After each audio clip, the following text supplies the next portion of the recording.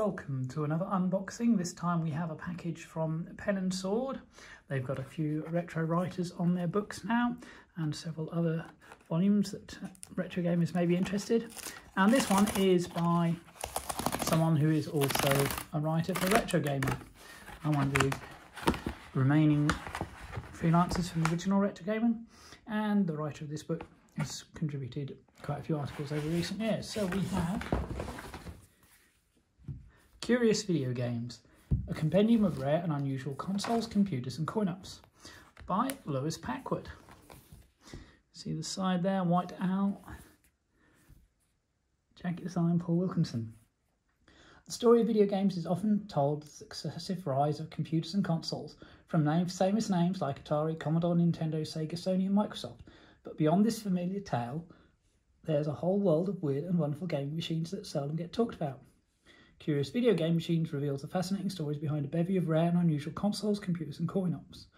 Like Kim Tactics, a 1970s war game computer made out of calculator parts, or the suite of Korea-exclusive consoles made by car manufacturer Daewoo.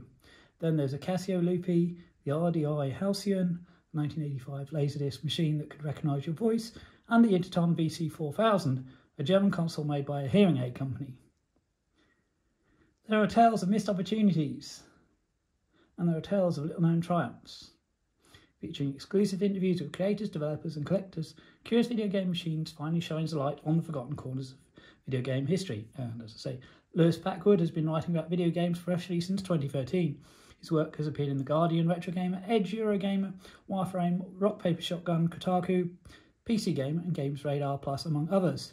He contributed to the AR enabled book Convergence, how the World Will Be Painted with Data by VR evangelist and Forbes columnist Charlie Fink, and is chief editor of the video game website A Most Agreeable Pastime. So let's have a look inside. Curious video game machines. To Kitty, Lottie, Arthur and Rory, you are wonderful. Nice dedication there. And then there's long list contents and a foreword by another friend of mine, Damien McFerran, editor-in-chief of the Time Extension website. Note from the author, fascinated by weird and wonderful consoles for a long time. Because of the obscure nature, often there is very little information out there. Made a huge effort to ensure that the facts and figures included are accurate and from reliable sources. So there's a timeline, the mainstream timeline on the left here with famous machines and the curious timeline on the right with the less well-known machines. So let's have a look at the start. How to make a war game out of calculators. Picture by Chris Crawford. Who went on to more famous things. Tiny terminals, real-time battles, paper maps used to keep track of play. Atari's forgotten consoles, the home Pong console, Pong arcade machine there. Super Pong, Home Pong, Ultra Pong doubles.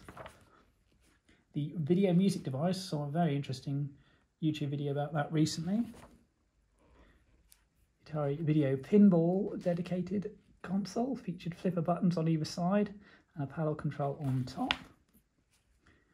The Stunt Cycle home console with a rotating throttle and pictures accredited Interton Video 2000, cassette number 2 Badminton, the BSS 01 from East Germany, Interton VC 4000, Das Cassette Program, Das Cassette Program, Superplay 4000, Acetronic MPU, grandfather of the Game Boy, the Microvision from Milton Bradley, there with the game Blockbuster.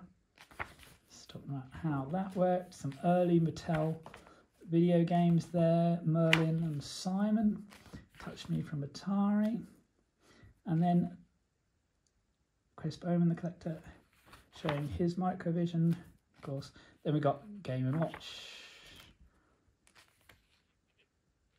Atari VCS, which would use the, the computer would have been used as a development kit, talking about various things, Wildfire, electronic pinball game from Garry Kitchen, famously worked at Activision. Atari VCS dev kit, which plugs into an Apple II. Yugoslavia's open source computer. A Galaxija Xija. Self-assembly, so there's one fully complete and modern equivalent. The RDI Halcyon, one of only a handful left apparently. Of course, the Laserdisc Dragon's Lair was incredibly impressive. 30 centimeters across, the Laserdisc was twice as wide as a DVD. And then the video disc system. Apply for RDI Halcyon, showing planned games. But unfortunately, it disappeared. And Ben Heckendorn, who's done quite a lot of work with obscure consoles and testing the voice recognition. The Enterprise, available in 64 and 128K versions, very British computer. Clever ideas. So it's compared to its competitors there. The Micro Mouse, and then the Elan Enterprise brochure, boxed example, which looks very similar to the later Amstrad CPC. Rear of the case, Videoton based on similar hardware, and Enterpress, Hungarian Enterpress magazine. In colour as long as it's pink, the Super Cassette Vision Lady, the Master System Girl and the Casio Loopy. So some more short-lived consoles, the Super Cassette Vision Lady from Epoch, Master System Girl from Tectoy in Brazil, and Casio Loopy, which came in its own pink version A console made by a car company, the Daewoo Zemmix 5, CPC 88 model of the Daewoo IQ 1000 computer, which is an MSX based. NEC PC Engine Shuttle, also from Zoics. Zemmix Turbo. Attack of the Famiclones. So we've got the Scorpion 8 and the Scorpion 16. Video game GT Dendy Jr., one of the most famous. A Sabor Famiclone in the shape of a Batman car. The Power Player Superjoy. That one's got a keyboard. Dendy Games. Video games on VHS, so the Action Max Video Challenger and other formats. So there's Action Max games, Video Challenger light gun, Padgett toy doubled as a light gun. Captain Power Toys, VCH, VHS tapes there, video driver, Viewmaster Interactive Vision, another one that used videotapes, static grabs there, and of course some of the early interactive games came back when CD format came around, when the noodles came to life, barcode battler. Scan the barcodes. Variations. Additional cards available for Battle the 2. Barcode Battler 2 merchandise. Cards for the Barcode Battler 2. You got some with the machine as well. And the hologram cowboy who travelled through time, Sega's Time Traveller, which projected the game in front of you. Other holographic based games. A DVD version of tra Time Traveller available, so you can experience it at least. As an advert. Virtuality, one of the earliest VR systems sit down or stand up in a loop and you can actually see one of those at Electric Computer Museum in Leicester. later HMD Dynavisor.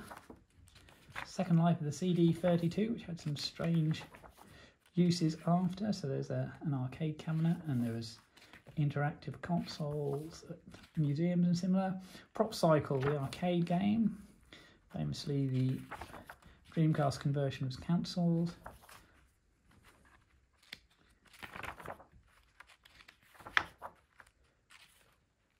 The Avatar Machine. Augmented reality device there. Acknowledgements, recommended reading, endnotes. So there's extra footnotes to chapters. And there we have it. So, great looking book from Lewis. Some fascinating rarities in there. In fact, it makes a very good companion piece to the recent Game Not Over from Craig Turner, which you could also find unboxed on this channel. So that's another book to add to the retro shelf. Keep watching the channel for more unboxing retro shelf merch stand and gameplay videos.